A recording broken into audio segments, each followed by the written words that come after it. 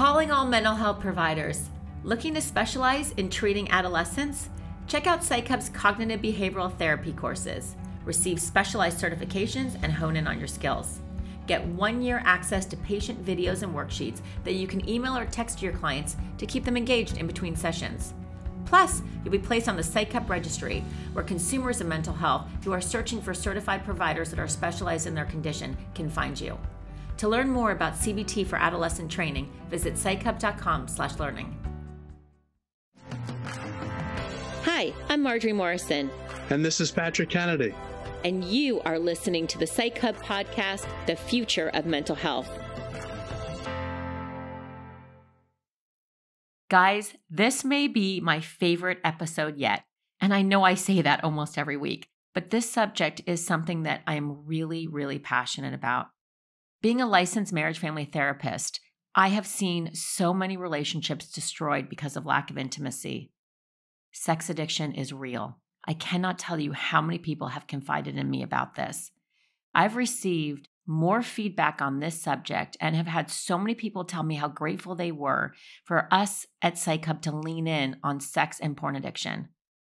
In addition to putting together this podcast, we've developed a series of short animated videos on this topic and are developing a behavioral health provider certified sex therapist learning hub around it. This has been a very taboo subject, but it's that much more important that we all tackle it. I am so grateful to have Dr. Ken Rosenberg here with us today. He is a psychiatrist and the author of Infidelity Why Men and Women Cheat. I can't wait for you to dive in and learn why some people who have seemingly great marriages, families, and careers but behind closed doors lead completely different lives. We'll cover what's a healthy amount of porn, when you've crossed the line from healthy sex to unhealthy behaviors, and a lot more. If you like what you hear from Dr. Rosenberg on our podcast today, check out the short animated videos we created with him. One is called What is Sex Addiction? Another is How to Overcome Sex and Love Addiction, and What Causes Sex Addiction. You can find them on our Psych Hub website or on our YouTube channel. Let's dive in. I'm excited. Well, first of all, thank you, Ken, for joining us. This is a, a long anticipated podcast. The issue of uh, sex addiction is, is, so taboo, but it's obviously pretty prevalent. Um, and we're anxious in the course of the podcast to get your take on some of the new phenomena that is really driving the increased prevalence of this, none the least of which is the kind of ubiquitous uh, access to pornography that now is like on your phone, you know, just everywhere. And uh, and it's it calls to mind kind of the more basic question about process addictions, uh, food addictions, uh, gambling addictions. And of course, you know, we've got online gaming. So that's going to become an increase of a problem for our public health. You know, you've got the technology addiction in general, you know, and of course, we've got an uptick in alcohol use and um, benzodiazepines and things, of course, as a result of COVID and, and the people's interest in trying to self medicate the huge stress and anxiety and uh, that's come from this pandemic. The reason I want to uh, lump all of that together is because I often find in, in my world of politics, people identify addiction by the particular disorder, i.e., you know, opioid use disorder. Oh, it's an opioid crisis. I, I mean, I was someone who was addicted to Oxycontin. My crisis was not opioids it was everything uh, uh, and and yet you know we end up trying to simplify all these things when in fact there are kind of lots of uh, overlapping addictions and if you could basically talk to us a little bit about how that happens um, yes. and as, as, i said the mechanisms of addiction whether they be process addictions uh, like sex addiction or whether they're substance use you know alcohol addictions? Well, as always, Patrick, you summarize things brilliantly. And, uh, you, you know, you're right. Our society is conspiring to create much more business for people like me, who are, I'm an addiction psychiatrist. And unfortunately, and I do think it's terribly unfortunate, we have now, you know, an uptick, as you say, in opiates, cocaine, marijuana is being introduced to the mix. Uh, whatever your feelings are about legalization, we will undoubtedly have more people who have problems with marijuana. We will undoubtedly have more youth who, with their developing brains, have exposure to something which surely, for a small number of them, will open a window onto psychosis, mental illness that would otherwise have been closed. But when you talk about process addictions, you're absolutely right. You know, the the the real advance in the thinking about addiction scientifically and societally is that addictions are pretty much the same. You know, we ad- ad- evolved as animals to become addicted to certain behaviors. Otherwise, our species would not survive. We did not evolve to be addicted to opiates or alcohol. We actually evolved to be addicted to food and sex and things that were critical for our survival. Uh, and we didn't, you know, when we evolved, there weren't refrigerators, there weren't processed foods, there wasn't, you know, uh, what we call uh, hedonistic foods available in packaging where people could, you know, drive in and and get, you know, super big meals. Um, and we did not evolve with porn on our phones. Uh, you know, the average age of porn exposure is 11 years old that's going to create a lot of sex addicts. Um, so you're absolutely right. The fundamental idea that addictions are similar, uh, whether it's a behavioral addiction, that means an addiction to a behavior like food uh, or sex, or whether we're talking process addictions is the word you use. That's the word we used to use about 10 or 20 years ago. Or whether we're talking about substance use disorders, which is cocaine, opiates, that sort of thing. Um, and what does that mean? That means essentially that the brain, the mind, if you will, becomes hijacked, that the reward systems are ignited. Those deep systems in our brain that were there for us to be addicted to, as I say, food and sex and do these things whenever we had the opportunity.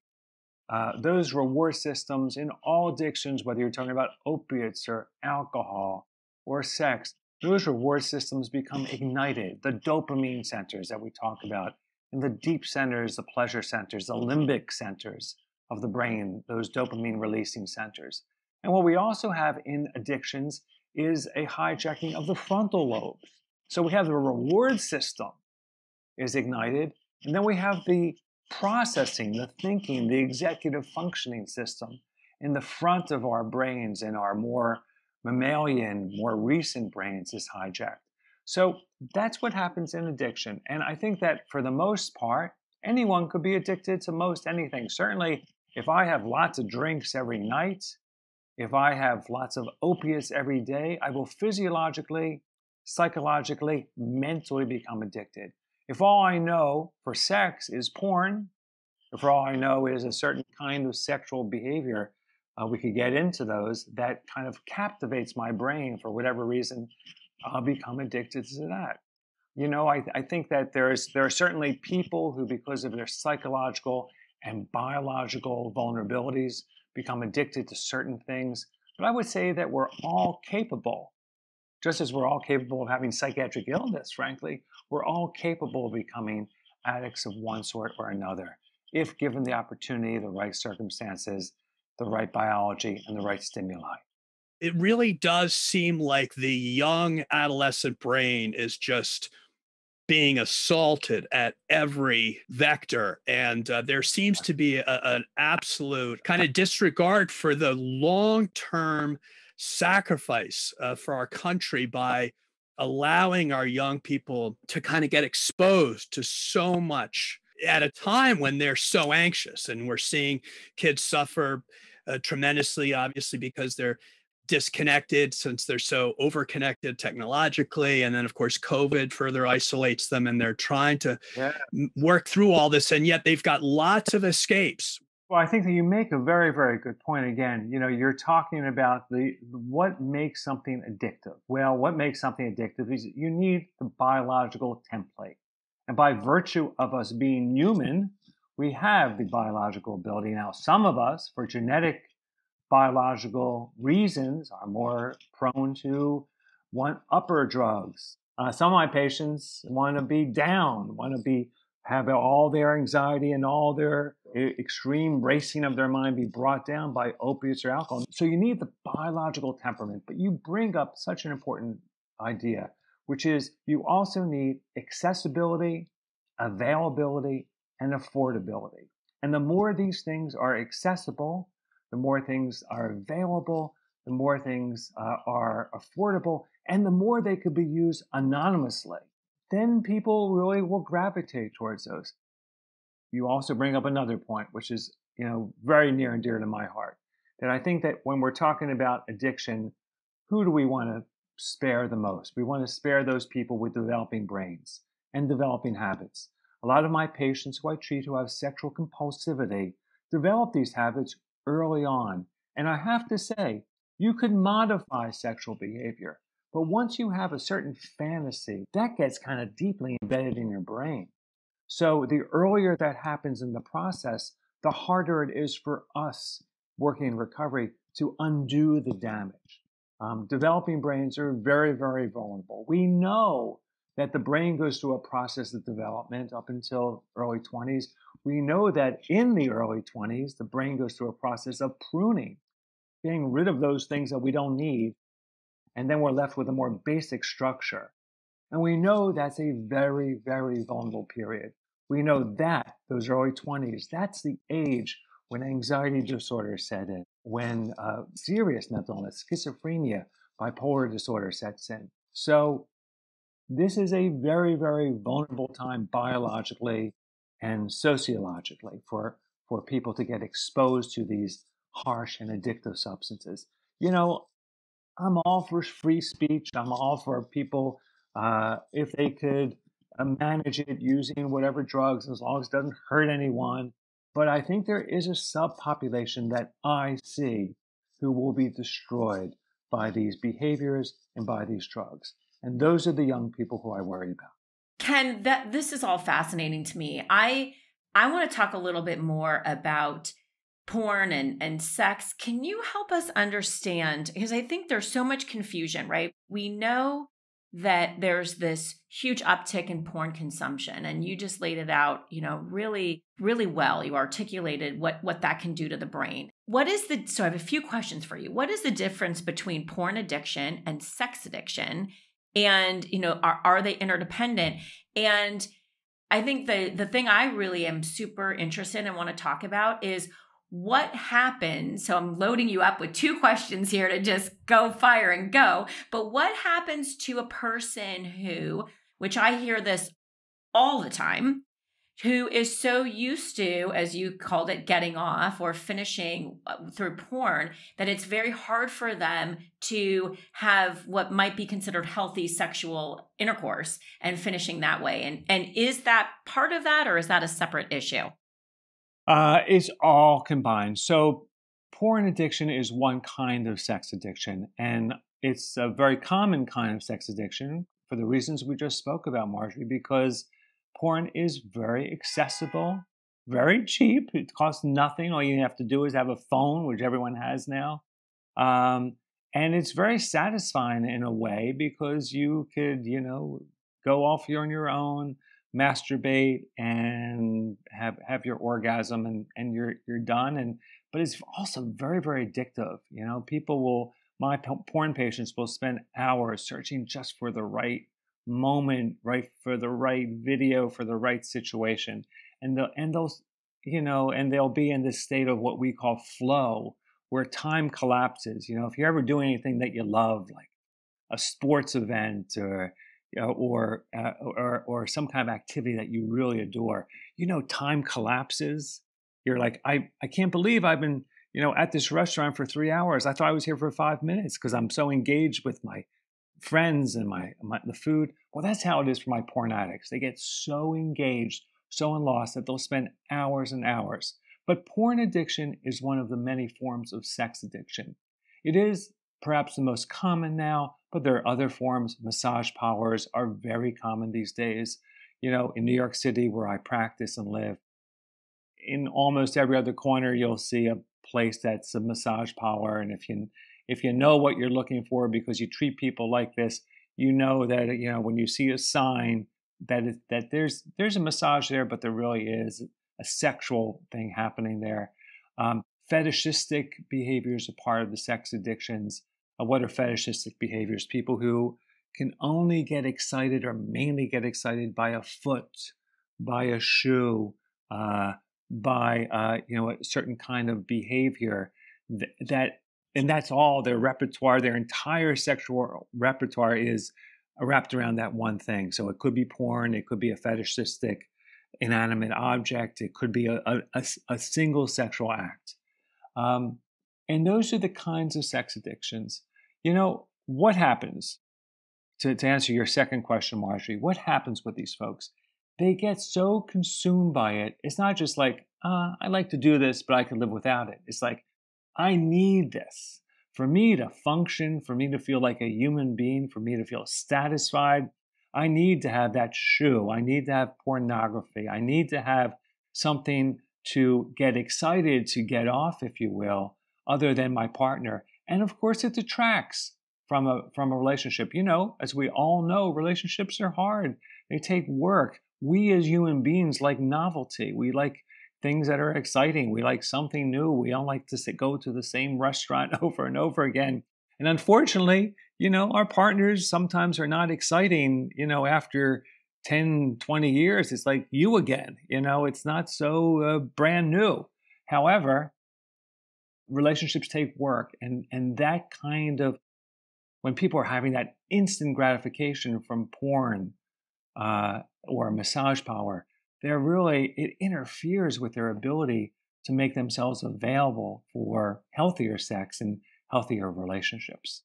You know, I think that these things are very similar to eating disorders and eating issues because abstinence is very hard, right? I mean, if if sex is a part of a healthy life and I think that, you know, most of us would agree that that's a that's a beautiful part of life. So what is it like to treat somebody who has a sex addiction? Because it's not like you know as patrick would talk about with um, substance use or where it's abstinence is the answer. So i would imagine it's more complicated. Can you share a little bit about what the treatment's like? Absolutely. Well it's actually not that complicated because what people define as problematic sex and what they define for themselves not that i define what they define for themselves as healthy sex is often pretty clear. So people will say, you know, when I go to porn, that's for me an unhealthy place because it's a place where I live and I can't escape it. Uh, when I go to a massage parlor, that's an unhealthy place for me. It's illegal. It's for me. It's against my you know morals. It, for for many reasons, it's not where I want to be. Um, when I have any kind of sex with my partner, whether it's whatever kind of sexual position it might be, whatever kind of sexual behavior it might be, someone might say, well, that's a healthy thing. I have many pa- patients who are polyamorous. And so it's not, you know, it's not a monogamous, heteronormative thing that they're searching for, but still it's often clear what is a problematic behavior and what is for them a healthy behavior. Uh, so what does abstinence look like? It means avoiding those things that are problematic. If you're addicted to porn, sorry, porn is off the menu. Um, if you're addicted to prostitutes, or the prostitutes is what gets you in trouble, that's off the menu. And often we need to help people not only stay away from things, move away from things. We always talk in addiction about whether we're moving away or moving towards. We kind of going to keep them away from things that get them in trouble, but we want to help facilitate them get to things that are very useful. So, in a healthy relationship for them, again, as they define it, in a healthy sexual encounter, whether it's, you know, with a partner or three partners, however they define healthy sex, we want to help them with that. And we want to, you know, work on their sexual disorders, which often happen as well as their sexual uh, addictions. So let me speak about that for a moment. If someone has a sex addiction, they're compulsively doing something which is making them unhappy, which at the end of it, after they orgasm often, they're so full of remorse, so full of regret. They they go to, to their church or synagogue and pray immediately that they will never do that again.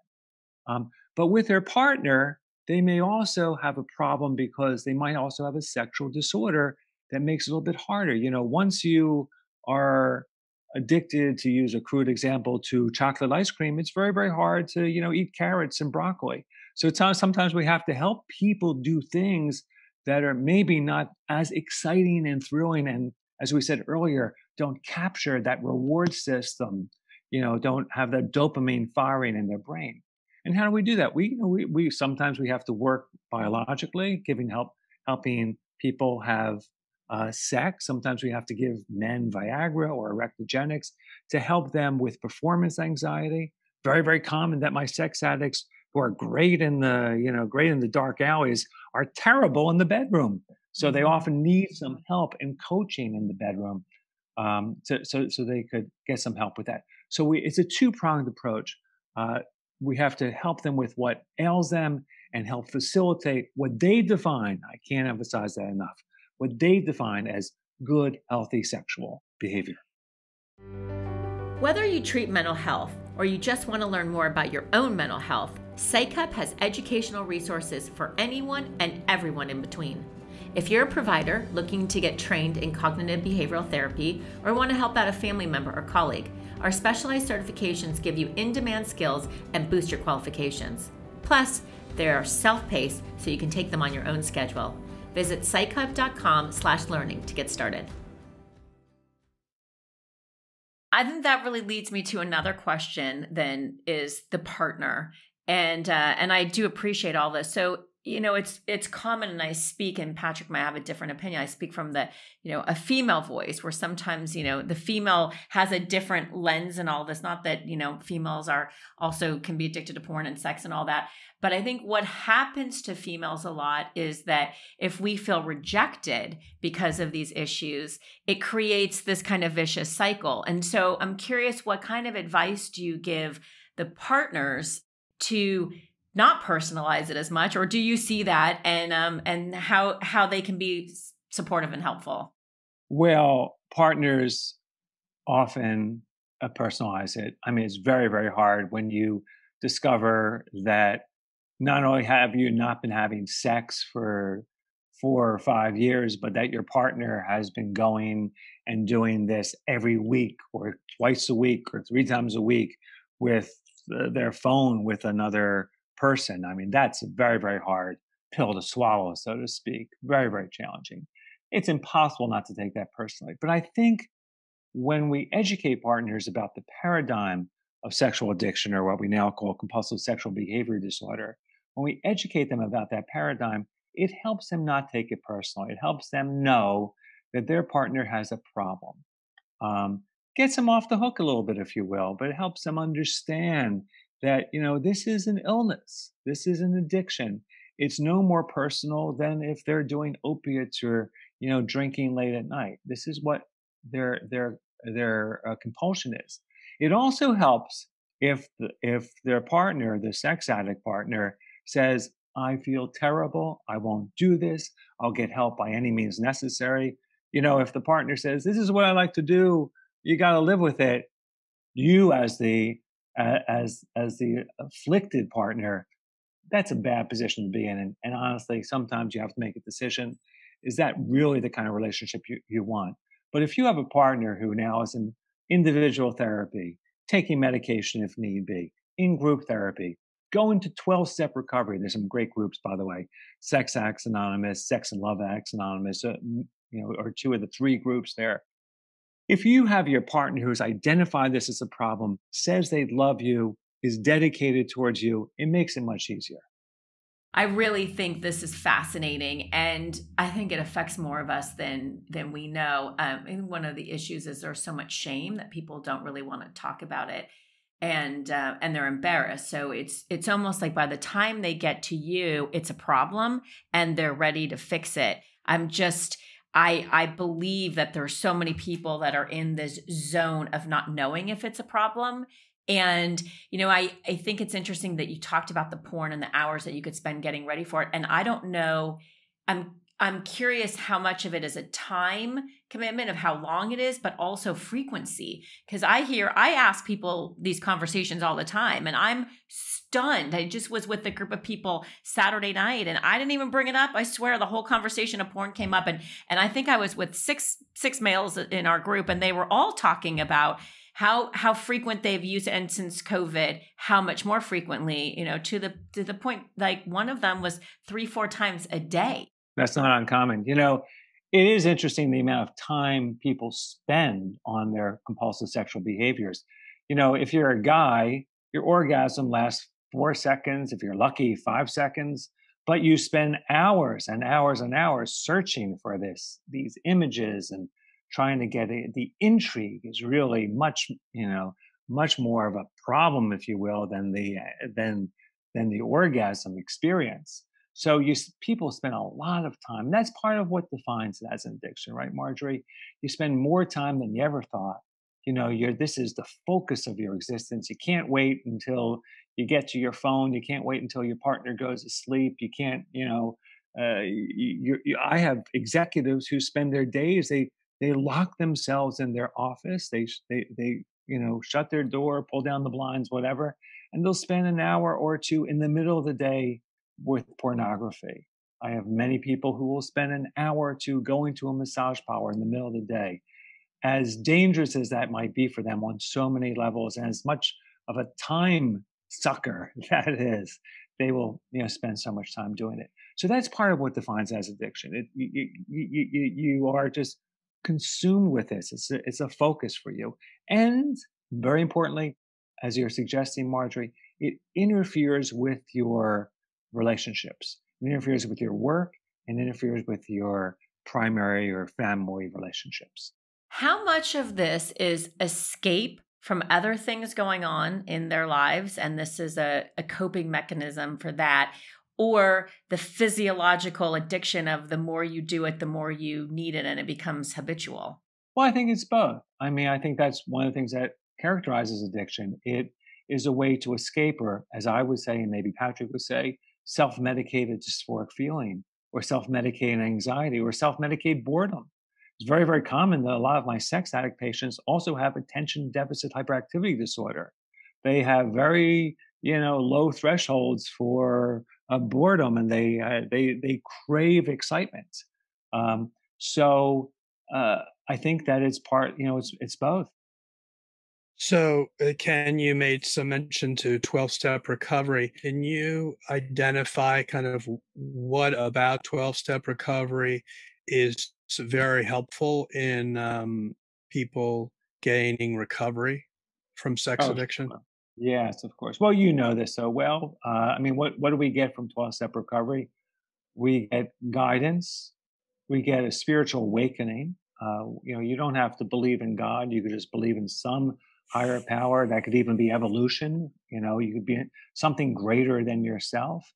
And you get fellowship.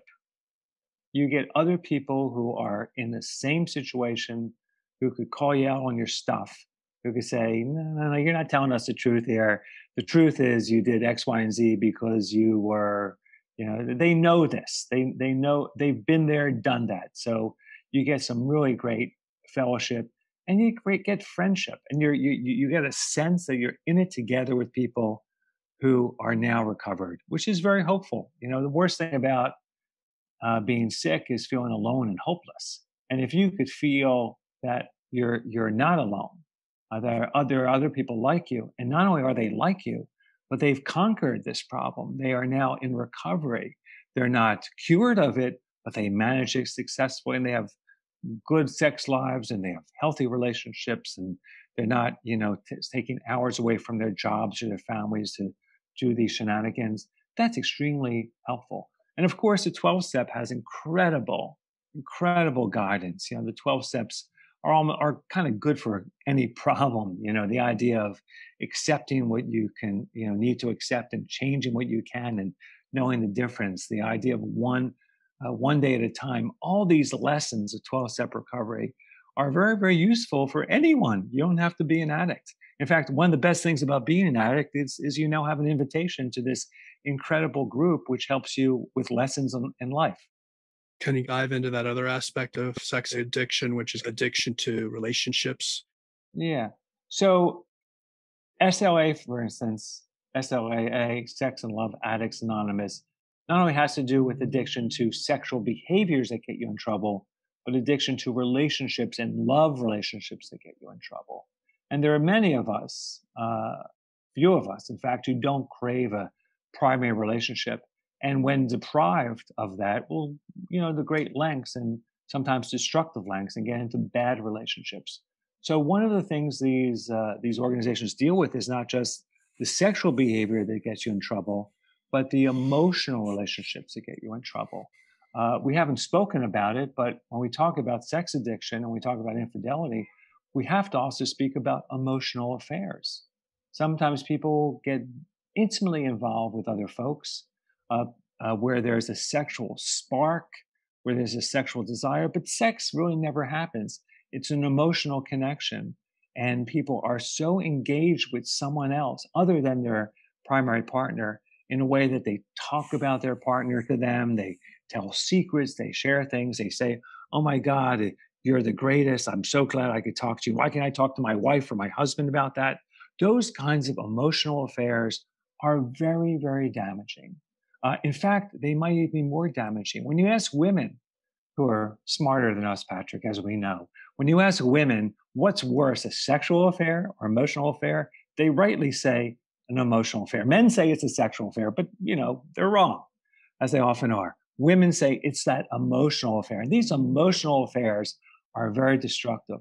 And that's why in recovery, you don't just work on uh, you know the sex stuff you work on the emotional stuff and the connection stuff and the relationships and as i said earlier it's not just the sex acts that get you in trouble an orgasm again it, it lasts a few seconds but that intrigue that desire that connection whether it's to a, a, person or an idea or a fetishistic idea or a prostitute that emotional intrigue and that emotional connection, that relationship connection, that's what really gets us in trouble. So you can't just work on what happens when, you know, when you're having sex. You have to work on what's going on relationship wise in your mind, if you will.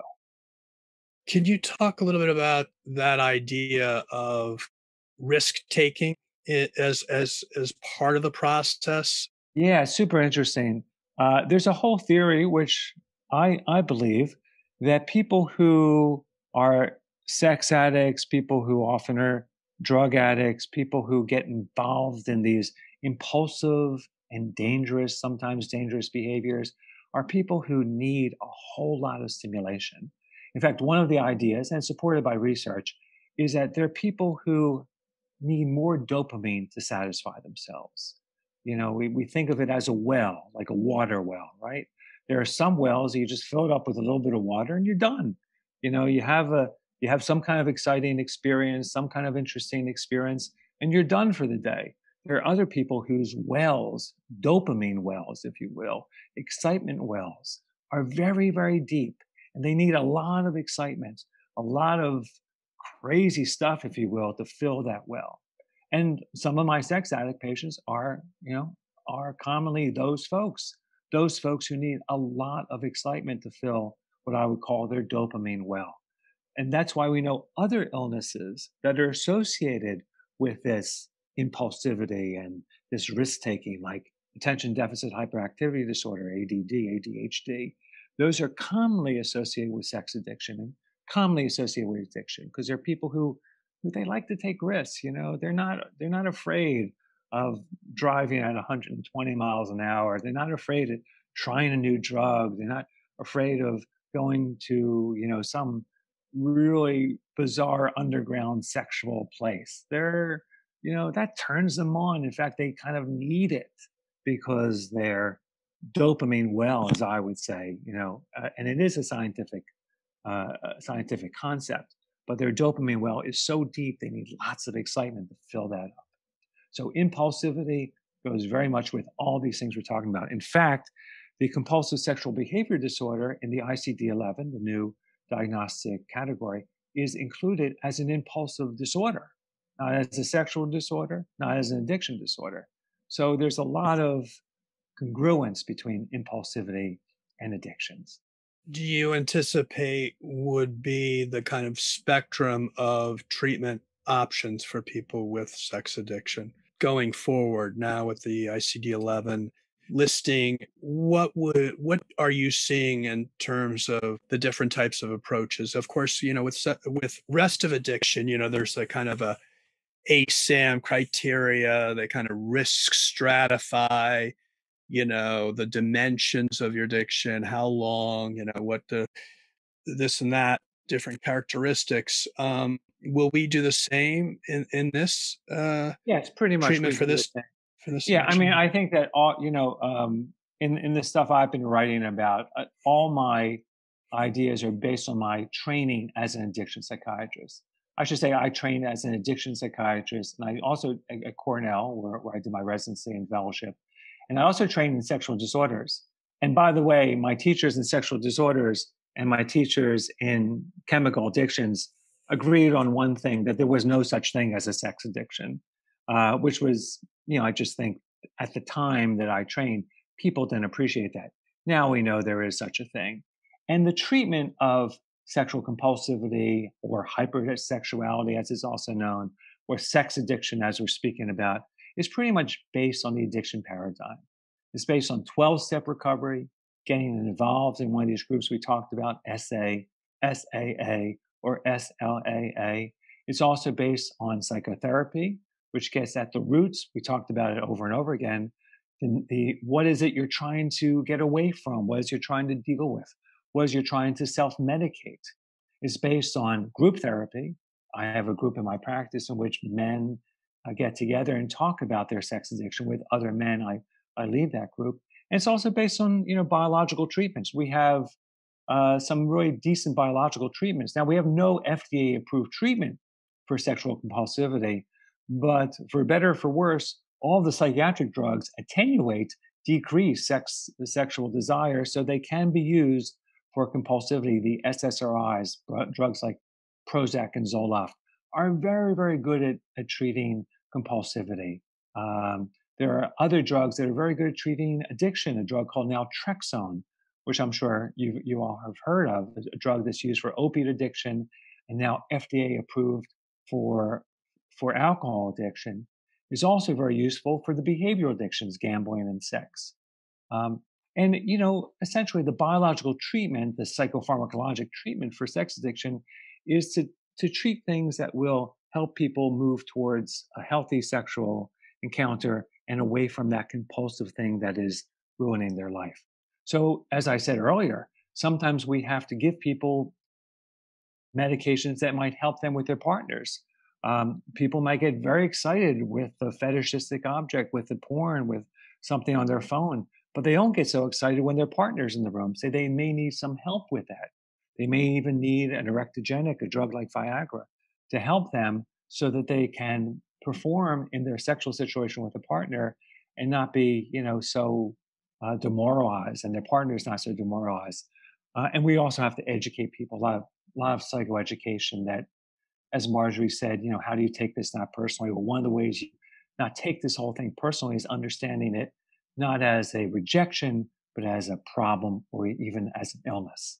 So, Ken, I think this has been really helpful. I know we're uh, wrapping up, but I wanted to ask you to think a little bit about what would a new world look like where we really worked on preparing the public for a better appreciation for all of these subjects particularly about yeah. brain health and neuroliteracy and thinking about how our brains become wired for self-destructive behavior and how it is that we can, from an earlier age in life, uh, get ourselves more prepared to to navigate, you know, all the challenges, uh, you know, traumas and the like that can end up with, um, you know, hardwiring of fixed notions that end up really sidetracking people for a better part of their lives in terms of these obsessions, compulsions, and addictions. Well, very simply, we have to talk about it. exactly what you're doing now, exactly what you're creating with, you know, Psych Hub. Uh, we have to talk about it because, as James James Baldwin said, I love to quote James Baldwin. You know, we can't fix everything, but we sure as heck can't fix anything unless we talk about it, unless we face it. And that's what you know we're doing now during this this hour. We're trying to face it and talk about it. So I think we have to prepare people by making them aware. Marjorie said so so so uh, so succinctly.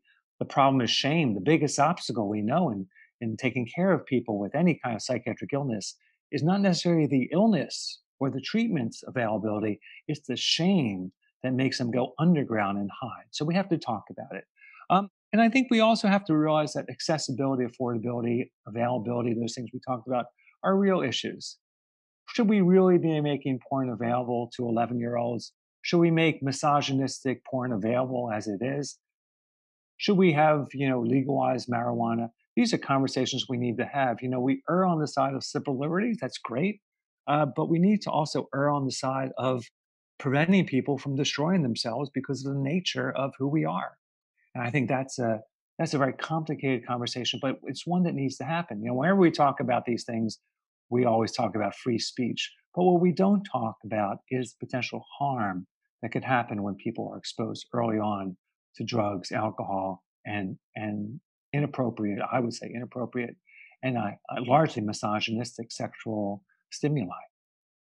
Ken, this was really, really interesting, thoughtful, impactful, and I have no doubt that it will touch more lives than we realize or people because so many like we talked about, so many people are are dealing with this, whether in private or with their just group of friends, whether they're group of guy friends or their group of girlfriends or whatever. So I really I appreciate your the history that you have into this, that you come in as a, a true true expert and specialist and that you've spent your career working on these things. I mean, just hearing alone that the one common thing at Cornell was that that there was no such thing as as sex is not being an addiction. And one of the questions i was going to ask you as we're running out of time was are you seeing it more prevalent now?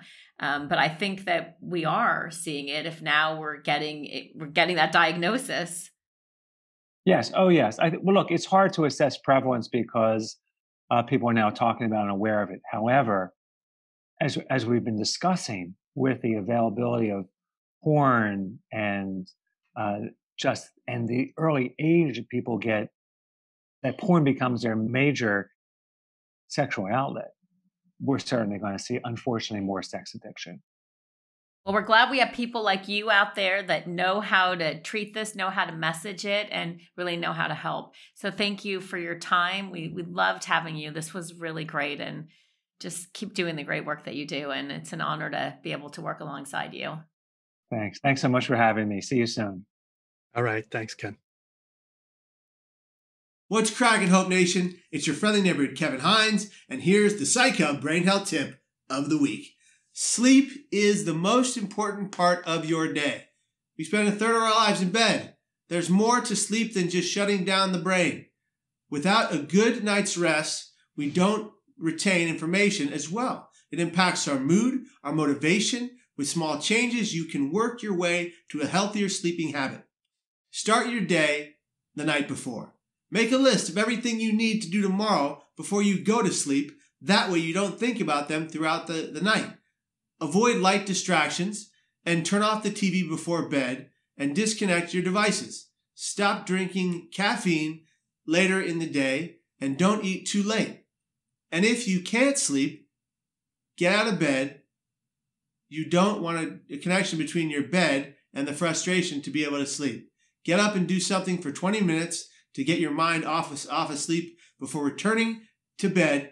If all else fails and you persistently have trouble sleeping, talk to your mental health provider about insomnia.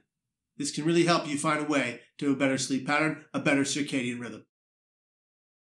Thank you, everyone. Those were our Psych Hub Brain Health Tips of the week. Wishing you well, take care, and be here tomorrow. As always, thank you for listening to our podcast. If you enjoyed the show, drop us a review. If you haven't already, subscribe to our podcast for the latest episodes. For the latest insights, check us out at psychhub.com.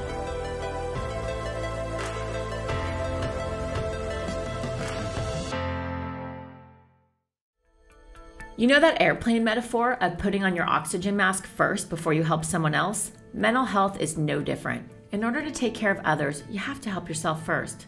But what does that look like? Take PsychHub's Mental Health Ally certification for starters. It's eight one hour courses covering anything and everything from substance use to diversity and mental health to suicide prevention and more. Plus, it's self paced, so you can take it on your own schedule. Become a certified, trusted resource to come to for mental health concerns. Visit psychhub.com slash learning to get started.